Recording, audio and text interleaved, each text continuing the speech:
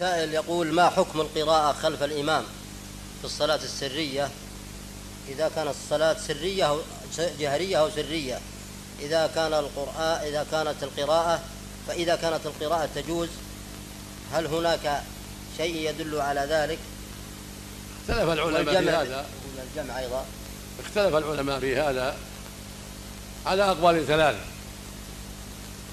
أحدها أنه أنها لا تجب. لا في الجهرية ولا في السرية وأن الإمام يتحملها عن المأموم. واحتجوا ببعض الأحاديث الواردة في ذلك. منها قوله منها ما يروى عنه عليه السلام أنه قال من كان له إمام فقراءته قراءة له وما يروى عن جابر وغيره من أن قراءة الإمام كافية.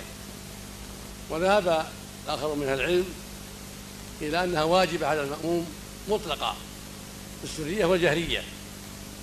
لعموم قوله صلى الله عليه وسلم لا صلاة لمن لم يقرأ بفاتحة الكتاب متفق على صحته.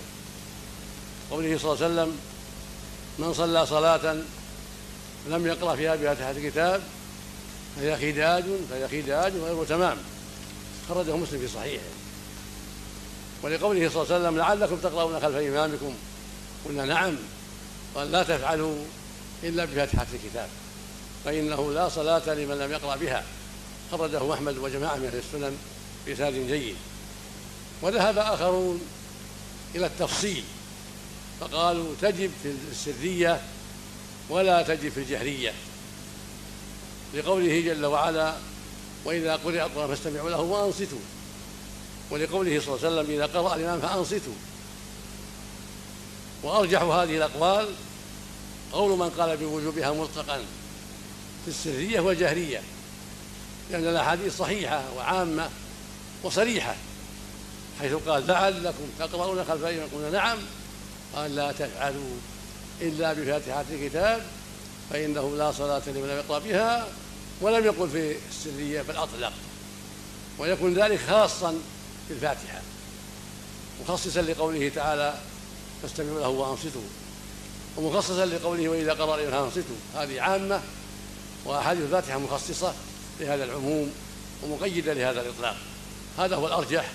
لكن لو نسي ذلك المأموم أو جهل ذلك أو جاء والإمام راكع أجزأه للعذر.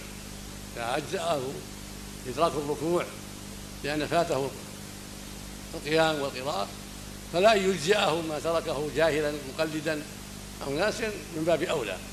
فلو تركها عن جهل أو تقليد أو نسيان أو لم يدرك الإمام الله وهو راكع فالصحيح أنه يجزئه لما ثبت في البخاري وغيره عن النبي صلى الله عليه وسلم رأى أبا بكرة ركع من الصف ثم دخل في الصف فقال له النبي صلى الله عليه وسلم زادك الله حرصا ولا تعد ولم يأمره بقضاء الركعة.